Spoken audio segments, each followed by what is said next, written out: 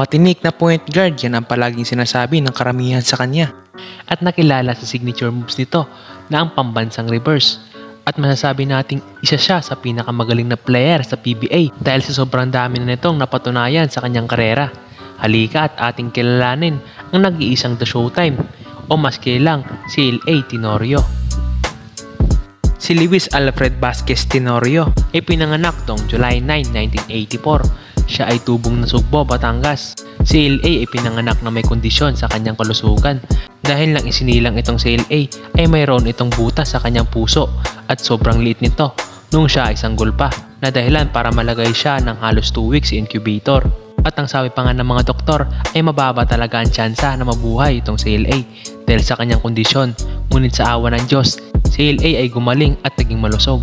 At bago ang lahat mga boss, kung bago ka pa lang sa ating channel, ay maaari mo bang pinutin ang subscribe button at notification bell para lagi kang update sa mga susunod na video. Maraming salamat mga boss! Sa kanyang paglaki ay nakitaan na agad ito ng kanyang mga magulang sa pagkahilig sa larong basketball noong siya ay anim na taong gulang pa lamang. At sa pagtungtungan ni LA sa elementary ay nag-aral nga ito at nakapaglaro sa paaralan ng Don Bosco Makati. At nung grade 6 nga itong sa LA ay naglaro nga siya kasama ang kanyang kuponan sa isang exhibition game na naipalabas din sa telebisyon at sa harap ng mga PBA fans. At nakalaban nga nila doon ang Ateneo Grade School Small Basketball Team ng araw na yon ay hindi sila pinalad na manalo sa laro. Ngunit panalong panalo naman sa LA dahil naipakita niya ang kanyang angking galing sa paglalaro ng basketball.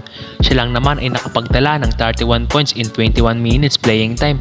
At dahil nga doon ay unti-unti na siyang napapansin ng mga tao. At sa pagtungtong niya nga ng high school ay dito na nga unti-unting nakukulayan ang mga pangarap ni LA at sa mga hindi nakakaalam Si LA ay unang nakapaglaro sa kanyang high school year sa kupunan ng Adamson at sa pangalawang taon niya sa high school ay nag-transfer ito patungong San Beda na pinapangunahan ni Coach Ato Badulato. At sa junior year nga ni LA, inaipakita agad niya ang kanyang husay sa paglalaro at nang tumungtong nga ito sa kanyang senior year ay dinagsa nga ito ng iba't ibang offer sa iba't ibang kilalang kolehiyo para bihagin ng puso ni LA at makapaglaro sa kanilang mga koponan.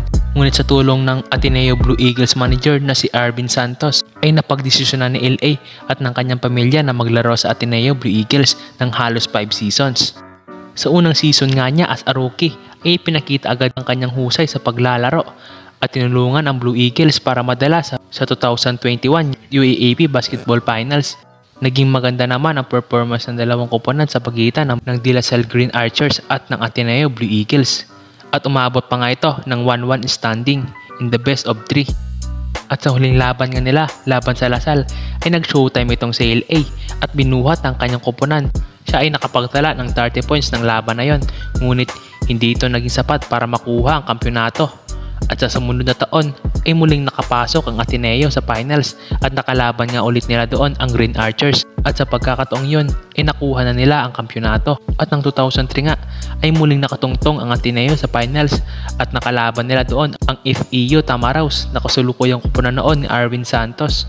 Ngunit nabigo ang Blue Eagles sa sungkitin ang kampyonato at sa pagkakataong yon ay nakapagtapos na si LA sa pag-aaral sa kursong Bachelor of Arts degree. At noong taong 2006 nga ay napagdesisyonan niya na simulan ang kanyang amateur career. Nakapaglaro nga si LA sa PBL sa kupunan ng Harbor Center Fort Master. Pinangunahan ni LA ang kanyang team para madala sa finals at makuha ang kampyonato sa PBL 2006 Unity Cup. At siya rin ang itinanghal na finals MVP sa season na yon. At sa taon ding yon ay na-drop si LA Tenorio sa PBA bilang first round 4th overall pick ng San Miguel Bermen. Masaya si LA dahil napili siya ng San Miguel Bermen at gayon din naman ang SMB dahil sa tingin nila ay may papalit na sa nooy paparetired na na si Olsin Resela.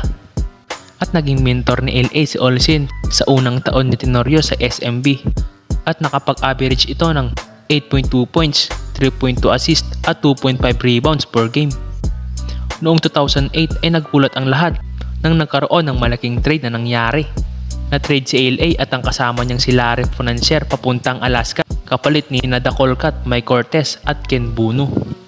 Naging maayos ang paglalaro ni Tenorio sa Alaska at sa tulong ni Coach Tim Code na siyang coach noon sa Alaska ay mas nag-improve ang paglalaro ng LA at na mas bibigyan ito ng mahabang minuto at starting 5 rin siya ng Alaska.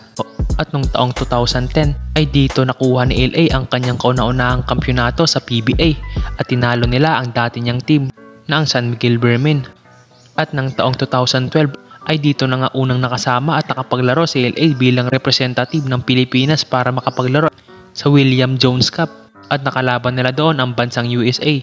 Binuhat ni Tenorio ang gilas at naipasok niya ang huling tira na dahilan para makalamang ang Pilipinas at manalo sa larong iyon. At dahil sa ganda ng nilaro ni LA, itinanghal nga rin siya na most valuable player ng time na yon. At sa pag-uwi niya sa Pilipinas, ay na-trade si LA sa Barangay Hinebra at naging maayos ang paglalaro niya doon. Nakakapag-average siya ng 14 points, 5 rebounds at 5.8 assists per game. At di rin nagtagal ay muling nakasama niya si Coach Tim Cone na siyang umahawak ng Barangay Hinebra hanggang ngayon. At noong 2016 nga ay nakuha nga ng Hinebra ang muling kampyonato sa haba ng panahon na di nila ito nakukuha sa pamamagitan ng historic shot ni Justin Brownlee. Masayang masaya noon ang mga Barangay Hinebra fans at itananghal nga si LA na most valuable player at nakapag-average ito ng 17.2 points, 4.7 assists at 3.8 rebounds per game. At mapasa hanggang ngayon ay hindi pa rin nawawala listahan ng mga malalakas na koponan sa PBA ang Barangay Hinebra. At sa tulong ni LA ay sunod-sunod na kampyonato na ang nakuha ng Hinebra. Sa ngayon si LA ay masaya sa kanyang asawa na si Cheska Bugeya at biniyayaan sila ng tatlong anak na puro lalaki at mayroon na rin itong mga iba't ibang business.